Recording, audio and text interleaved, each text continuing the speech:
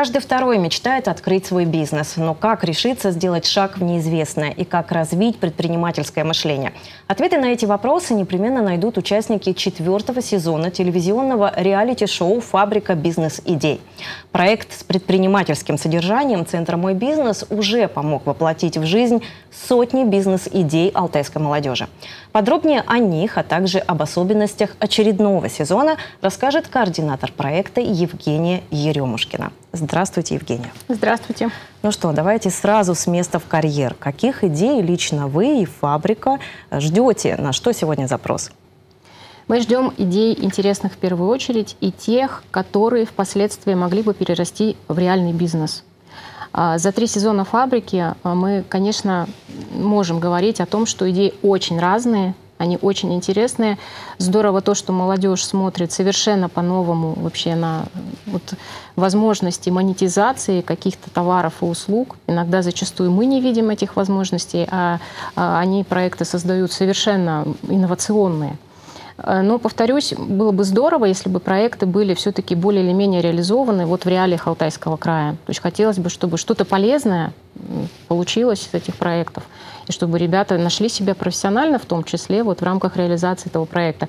Надо сказать вообще, что э, вот фабрика бизнес-идей проект, он же развивается благодаря реализации в Алтайском крае национального проекта «Малое и среднее предпринимательство» и поддержка индивидуальной предпринимательской инициативы. А там же философия какая? Поддержать бизнес на любом его этапе. От старта и там, до выхода на внешний рынок. Вот про старт это как раз проект «Фабрика бизнес-идей». Поэтому, конечно, любые проекты и в сфере производства, в сфере услуг, э, инновационные проекты, информационные технологии, я уверена, что будут в этот раз, конечно. А, экологическая тема постоянно представлена. Ну, вот экопродукция, экологический подход, бережливое производство, вот это все тоже есть. Здорово, что мышление у молодежи, оно такое, ну вот правильное, оно всегда на шаг вперед. Вот это здорово. Ну, конечно, мы ждем таких всяких разных и фантазийных идей в том числе, но, повторюсь, с практическим компонентом, чтобы реализовать их потом все-таки. Из проектов прошлых сезонов какие бы вы отметили?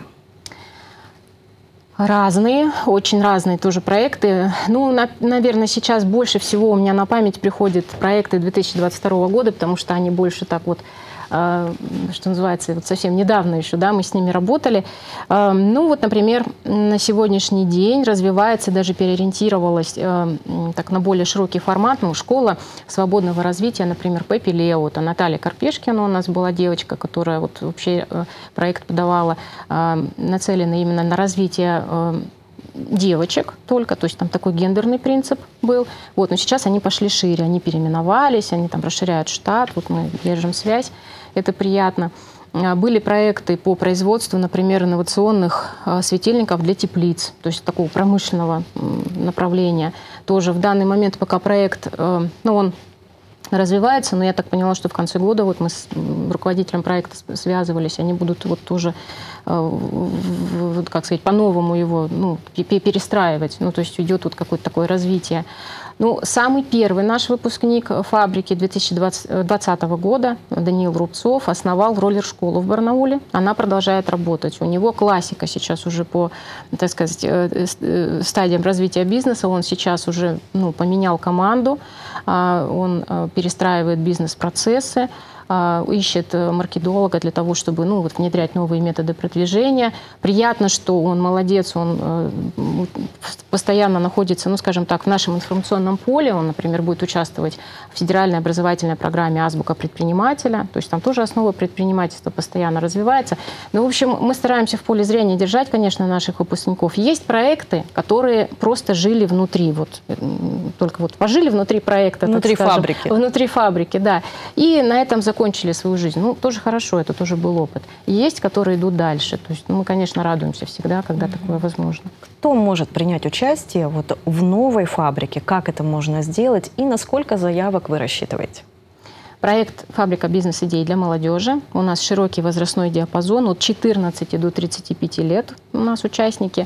И в этой связи у нас есть такие условные две категории. Это вот как раз школьники старших классов от 14 до 17 и, э, собственно, от 18 до 35 это уже такие более взрослые конкурсанты. Э, очень легко принять участие. У нас есть сайт э, «Фабрика бизнес-идей». Там есть кнопка «Подать заявку». А в этот раз мы разработали шаблон самой заявки, ну, описание самой бизнес-идеи, которая ребятам поможет более структурированно свою заявку подать и оценочной комиссии вникнуть вот в суть этой заявки. Вот. И, собственно, ну, мы вот с 15 сентября уже начинаем принимать эти заявки до конца октября. Времени достаточно. Сейчас начинается самый активный период. Так что, пожалуйста, заявляйтесь. А вот изменится ли что-то в плане содержания проекта? Вот что ждет участников? Какие-то, может быть, новые форматы встречи? Постоянным э, таким меняющимся, скажем так, компонентом внутри проекта это люди, которые помогают нашим начинающим предпринимателям, нашим конкурсантам э, вот этот предпринимательский путь идти. Но есть вот компоненты неизменные, собственно, поэтому проект устойчивый, поэтому он продолжает жить. То есть вот, ну, есть какие-то базовые этапы, да, которые остаются неизменными, там отбор заявок, обязательно внутри проекта есть экспресс-курс по предпринимательству «Бережливый стартап». Обязательным компонентом является взаимодействие с наставниками а, и ряд других форматов. Но а, содержание, скажем так, вот э, оно может меняться в каком плане? Это может быть деловая игра, например, для всех по переговорам или по выявлению лидерских качеств, или еще какой-то тематики, или там на сплочение, на командообразование. Вот здесь вот уже есть свобода так скажем, вариации какие-то, да, вот здесь Свобода мог, выбора. Да, могут быть новые какие-то моменты. Ну и, повторюсь, лица, люди, которые постоянно входят в проект и вот на протяжении всего этого проекта работают с нашими ребятами, это ну, чаще всего новые люди. Вот это самый главный новый компонент, пожалуй. Угу. А вот какие из навыков будут отработаны во время реалити-шоу и вот по опыту уже прошлых проектов? На что в первую очередь нужно обратить внимание, делать упор, чтобы развить вот это самое необходимое предпринимательское мышление? А, очень хороший курс э, по предпринимательству, вот «Бережливый стартап», о котором я уже сказала, он, ну, такая пошаговая инструкция, как вообще человеку мягко, скажем, войти вот в эту сферу под названием «бизнес». Там будет обязательно генерация бизнес-идей. То есть они, вот, в принципе, группа с этого и начинает вместе с тренерами опытными – с действующими предпринимателями. У нас есть как минимум два спикера, которые постоянно работают вот в течение 12 дней в рамках этого курса с командами. А, есть живой формат, онлайн-формат, ну то есть тоже максимально стараемся, чтобы было всем удобно. Они будут анализировать конкурентов на рынке, естественно, они будут искать собственную бизнес-нишу, они будут смотреть, где есть их целевая аудитория, как с ней работать, как формировать уникальное торговое предложение.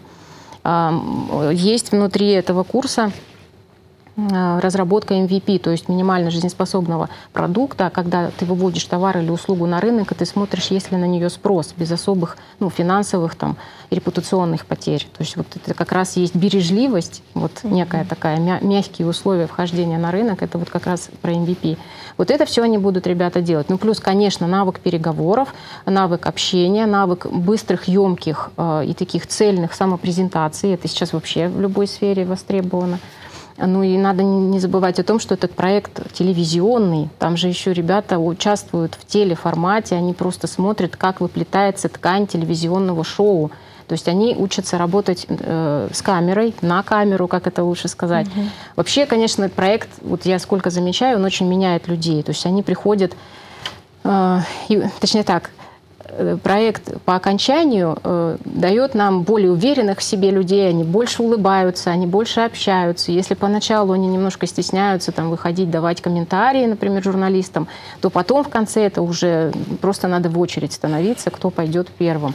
Вот это тоже навык. Но это очень нужно в 21 веке, потому что такая ну, публичность, что ли, да, и, в общем-то, умение себя представлять, но ну, это те навыки, тот самый эмоциональный интеллект, те самые soft skills, которые, конечно, молодежи очень нужны сейчас.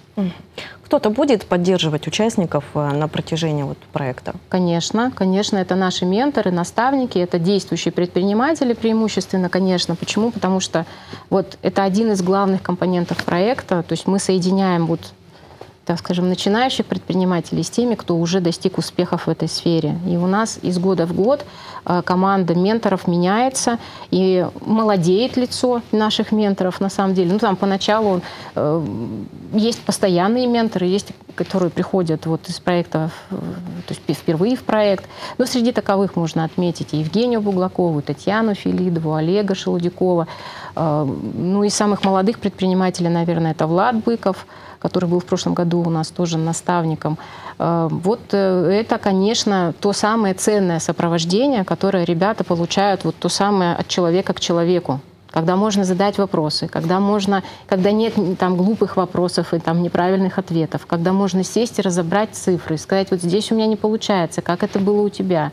Ну вот, да, поэтому менторы — это наша, конечно, сердцевина, самая большая гордость проекта. Каким образом будут отбирать лучшие проекты? То есть во сколько этапов, по каким критериям? Ну и главное, а судьи кто?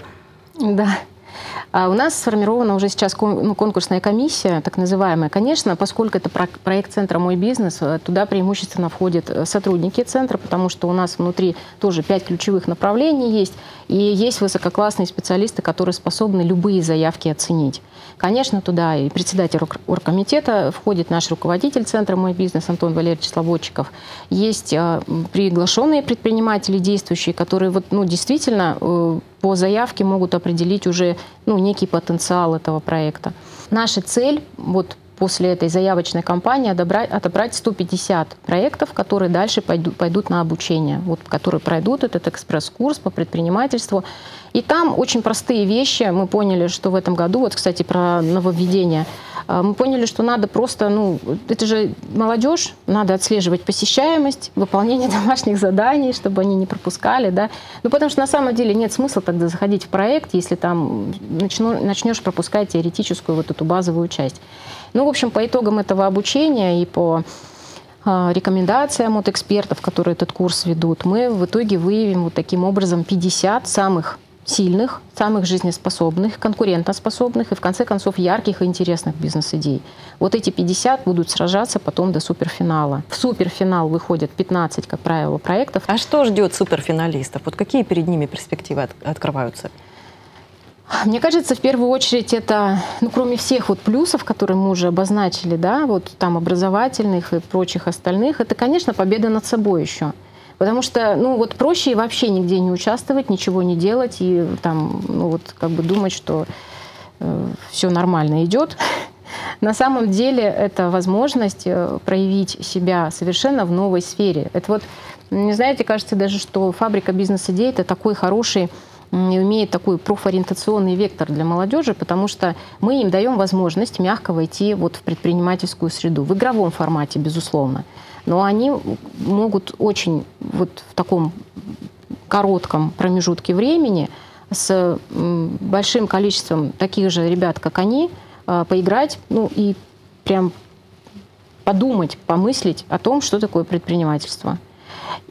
И если кто-то из них потом станет настоящим предпринимателем, пусть это будет там 10-5%, для нас это будет уже победа, конечно. Кто-то скажет, что никогда не пойдет в предпринимательство, и это тоже результат, и это тоже нормально.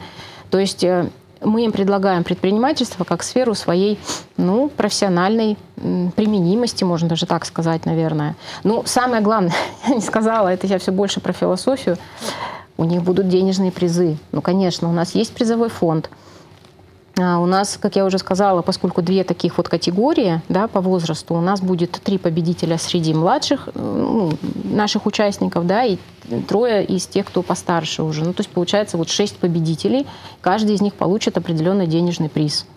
Вот. Ну и, естественно, рекомендации, там дальнейшее сопровождение. Мы всегда ребят этих дальше там держим в поле зрения. Поддержка центра «Мой бизнес», образовательные мероприятия мы их всегда приглашаем. Ну, то есть стараемся их не бросать. То есть, конечно, ну, это же наши подопечные получаются теперь. Ну и резюмируя, очень кратко, лаконично, да. подчеркните, почему все-таки важно делать шаг в неизвестное и принимать участие в фабрике бизнес-идей? Ну, делая шаг в неизвестное, следующим шагом это уже будет, э, ну, по сути, шаг в известное, да. На самом деле всегда нужно давать себе шанс заниматься чем-то новым.